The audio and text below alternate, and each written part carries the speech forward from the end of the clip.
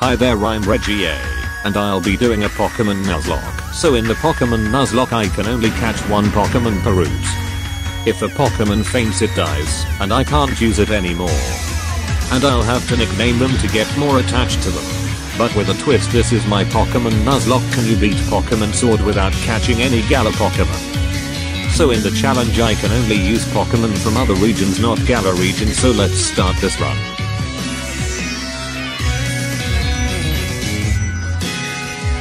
This Pokemon Nuzlocke was inspired by Young Yaltels, Jaiden Animations and Odd One S Out. After watching their Nuzlocke it inspired me to do a Nuzlocke. And so I started my Nuzlocke let's go.